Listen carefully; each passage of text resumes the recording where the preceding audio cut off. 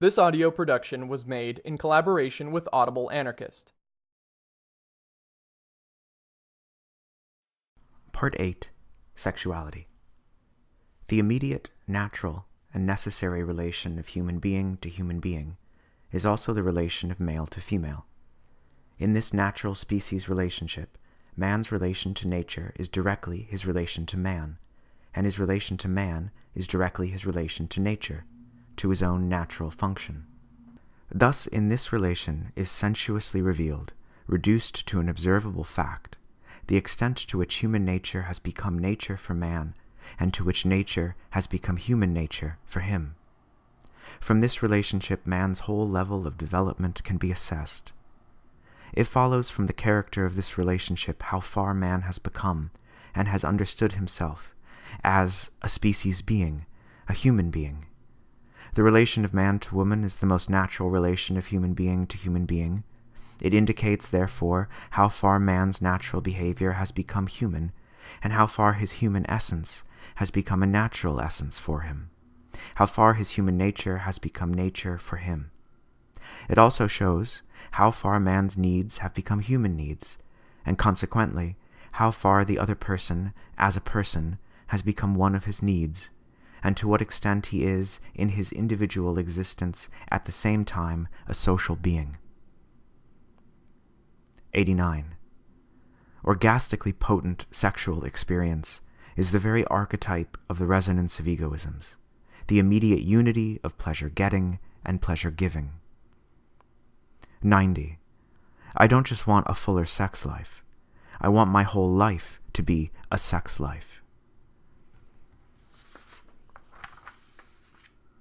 91. The sociality of man reveals itself nowhere more strongly than in sexual sociability and sexual solidarity.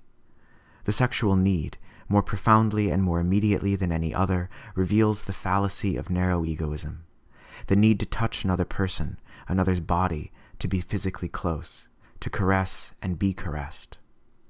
Perhaps it is out of the desire, congruent with narrow egoism, to deny the intersubjectivity of this most profoundly intersubjective of needs, that so many perversions begin in order to objectify the subject who is the aim of this need. But here also is a threshold and an attractor where the expansion of egoism can stop, can get hung up for epochs. A collective egoism that never grows bigger than the couple, the collective of two, the isolated duo, the nuclear family. We have here the ideology which holds that the egoistic project could become adequate to itself if only it included two egos. This is but another form of the ideology of anti-socialism, the ideology that seeks to deny the social ingredient in the individual, the self, the personal world, and ends up by denying and depleting the self as well, ends up with an emptied self. According to this ideology, only the personal, intimate family world the private world of the home is real. The strange, crazy, cold, outside world, the social world, is held to be unreal, though it must be related to, if only to support this narrow, real world. This ideology knows society only as an invasion of privacy. This is, the, this is the ideology that will keep the personal world narrow and impoverished, and the social world menacing and alien. Will we get beyond it? Do we want to? Need to? Only time will tell. Capitalist anti socialism is now rapidly reaching its logical conclusion the destruction of society. Over this question, all our lives are at stake. 92. Freud even bases his case for instinctual repression on the postulate of such an internal condition as described above, with the help of a few of his typical reified false antitheses. The conflict between civilization and sexuality is caused by the circumstance that sexual love is a relationship between two people in which a third can only be superfluous or disturbing, whereas civilization is founded on relations between larger groups of persons. When a love relationship is at its height, no room is left for any interest in the surrounding world. The pair of lovers are sufficient unto themselves, do not even need the child they have in common to make them happy. Like most calls for moral enforcement, it assumes, unbeknownst to its author, who characteristically believes, on the contrary, that people already want too much and are already too selfish, that human greed will not expand beyond a certain narrow domain.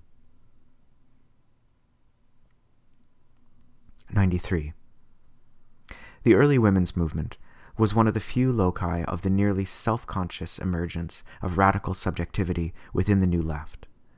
The women who created it refused to put off the struggle against their special depression until after the revolution. If human beings have reduced each other to sexual pseudo objects, have objectified each other sexually, this is by no means the only or the most fundamental way in which they have been objectified. This is only one facet of a general dehumanization and desubjectification. The overcoming of this specific objectification, of the problem posed most subjectively by the early women's liberation movement, and named sexism by the partisans of that movement, can only be of the form of sexual subjectivity as opposed to this sexual objectivity, and expanded sexual egoism as opposed to sexual duty, sexual self sacrifice, and sexual exploitation.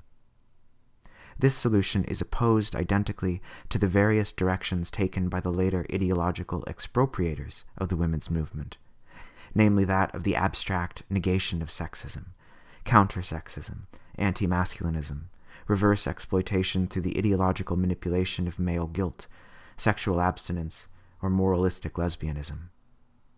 Lately, more and more women have felt called on to act in a new role, that of sister. The joy of the initial abstract unity has been replaced by the threat of exclusion for unsisterly behavior. Oppression takes a new form women over women. It's not the moments of genuine warmth and intimacy, of authentic community within the women's movement that we want to criticize, but precisely the ideology that ultimately poisoned these.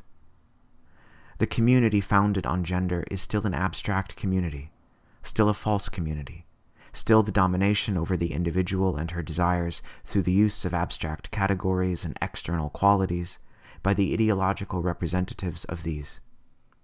The pseudo community of sisters, assumed and moralistically enforced, is still a community founded on oppression, the repression of radical subjectivity, the representation and enforcement of an abstract determination defining a group of people, in this case, gender, over against their concrete particularity and their conscious self determination. Bosses come in all genders, no less than in all colors. How much humiliation will it take to learn that a boss having similar skin color or the same type of sexual glands objectifies one no less than any other? Next time a feminist bureaucrat addresses you as sister, listen to the tone of her voice. Why is she whining? Do her words fall like a threat or like a chain? What is it she wants from you? Does she want a subject or a slave?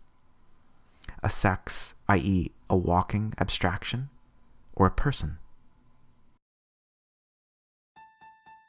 This has been a production of Audible Anarchist. You can find more Audible Anarchist on YouTube.